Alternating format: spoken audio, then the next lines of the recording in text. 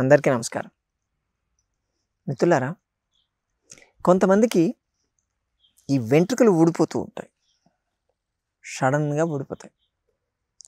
లేడీస్కి ఊడిపోతాయి జెంట్స్కి కూడా ఊడిపోతూ ఉంటుంది. అంటే తల మీద అక్కడక్కడ అంటే కొంతమందికి చిన్నపిల్లలకి ఉంటుంది.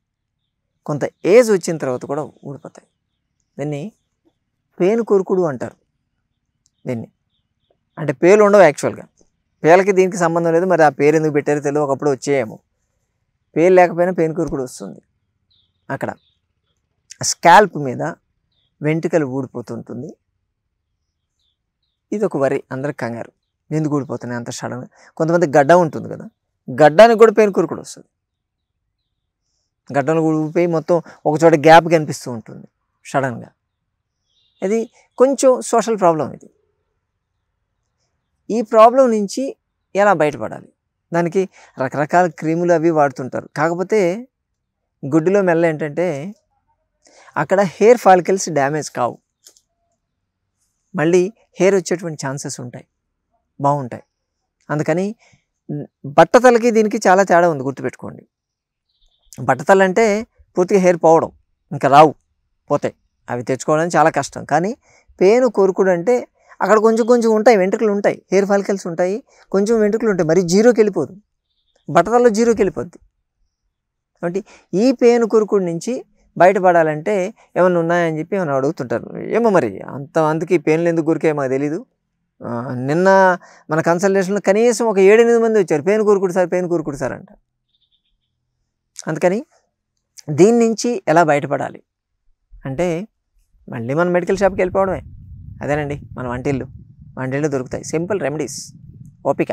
మనం వెతుక్కోవాలి కానీ దొరకపోయేటేంటి జీడి. మామిడి జీడి కావాలి.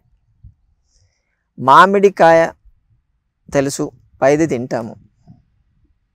లోపల టెంక. టెంక పడేస్తాం. టెంక లోపల జీడి ఉంటుంది కదా? టెంక నేను ఎప్పుడు కొట్టి చూడలేదంటారా? అంతే. స్విగ్గీ. స్విగ్గీ. స్విగ్గీ జనరేషన్ కదా ఇవన్నీ. స్విగ్గీ జొమాటో జనరేషన్ కాబట్టి అసలు కొద్ది రోజులు పోతే మామిడికాయ ఎలా ఉంటుందో కూడా తెలియదేమో సరే ఆ మామిడి టెంకర్ కొడితే లోపల జీడి ఉంటుంది.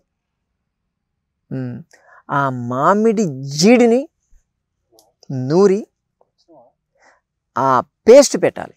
ఆ పేస్ట్ పెట్టి ఆరిపోయిందాకా ఉండి తర్వాత కడిగేసుకోవచ్చు. మామిడి జీడి పచ్చిగా వాడేదానికన్నా కూడా ఎండబెట్టి వాడితే ఇంకా బాగా పనిచేస్తుంది. గుర్తుపెట్టుకోండి. ఎందుకంటే పచ్చి దాంట్లో కాస్త వాటర్ కంటెంట్ ఎక్కువ ఉంటుంది. అదే ఎండిన దాంట్లో వాటర్ కంటెంట్ తప్పి కొంచెం ఆయిల్ లెక్క వస్తుంది. మనం మీరు నూరినప్పుడు డ్రై బండ మీద నూరినప్పుడు దాంట్లో ఆయిల్ లాంటిది వస్తుంది. అది చాలా ఎఫెక్టివ్గా పనిచేస్తుంది. మనం ఇంతకు ముందు కూడా చాలాసార్లు చెప్పాం. వీటిని పౌడర్ చేయాలి అంటే మీరు ఎప్పుడు కూడా నూరి దాన్ని పేస్ట్ చేసుకోవాలి అంతే తప్ప దంచో లేకపోతే మిక్సీలో పెట్టి చేస్తే దానివల్ల ప్రయోజనం ఉండదు. హండ్రెడ్ పర్సెంట్ ఎఫెక్ట్ ఉండదు అని చెప్పాం. అది దీనికి కూడా వర్తిస్తుంది. కాబట్టి దీన్ని కూడా గట్టిగా ఉండేటువంటి ఒక బండ మీద రఫ్గా ఉండేటువంటి బండ మీద నూరితే వచ్చేటువంటి ఆ పేస్ట్ని పెడితే మీకు ఈ పేను కొరుకుడు ప్రాబ్లం అనేది తగ్గుతుంది. అలాగే ఇంకొకటి కూడా బొప్పాయి చెట్టు. బొప్పాయి చెట్లు ఉన్న వాళ్ళకి ఇది బాగా పనిచేస్తుంది. లేని వాళ్ళు ఇంకా మామిడి జీడి ట్రై చేసుకోవాలి. బొప్పాయి చెట్టుకి ఒక ఘాటు పెట్టామనుకోండి. ఘాటు పెడితే తెల్లటి పాలు వస్తాయి. కదా? ఆ పాలు వాడుకోవాలి. ఎక్కువసేపు రావు పాలు. మీరు పెట్టగానే కొంచెం వస్తాయి. తర్వాత మా లోపల నుంచి జ్యూస్ వచ్చేస్తూ ఉంటుంది. అది కాదు. కేవలం పాలు మాత్రమే మీరు కలెక్ట్ చేసుకోవాలి. నాలుగైదు గాట్లు పెడితే వస్తుంది. అయినా మొత్తం తలంతా వచ్చే కేసులు చాలా తక్కువ. అక్కడక్కడ చిన్న చిన్న ప్లేస్లే వస్తుంటాయి కాబట్టి మనకు కొంచెం వచ్చినా సరిపోతుంది. కాబట్టి ఈ బొప్పాయి చెట్టుకి ఘాటు పెట్టేసి వచ్చేటువంటి పాలని మీరు డైరెక్ట్గా అప్లై చేయొచ్చు. ఎక్కడైతే మీకు పెయిన్ కొరుకుడు ఉందో అక్కడ అప్లై చేసి ఎండలోకి పోవద్దు. నీడలోనే ఆరాలి. ఆరిన తర్వాత స్నానం చేయొచ్చు. బొప్పాయి ఈ పాలు కానీ బొప్పాయి పాలు కానీ లేదా మామిడి జీడి కానీ మీరు రోజుకి రెండు మూడు సార్లు పెట్టుకోవచ్చు. చిన్న చిన్నది. అదేమి వాసనలు రావు పెట్టుకొని కూడా బయటకు పోవచ్చు. ఏమవుతుంది? ఇబ్బంది ఏమి ఉండదు. దీని కానీ వాడుతూ ఉంటే మీ పెయిన్ కోరుకుడు అనేది గ్రాడ్యువల్గా తగ్గుతుంది. షూర్గా తగ్గుతుంది.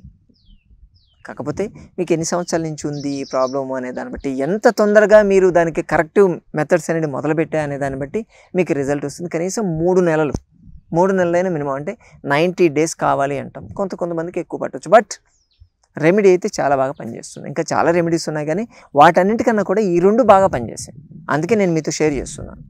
కాబట్టి మిత్రులారా ఎవరైనా సరే మీకు తెలిసిన వాళ్ళు ఈ పెయిన్ కురుకురుతో సఫర్ అవుతూ ఉంటే వాళ్ళకి ఈ రెమెడీ షేర్ చేయండి. వాళ్ళు వాడుకుంటారు.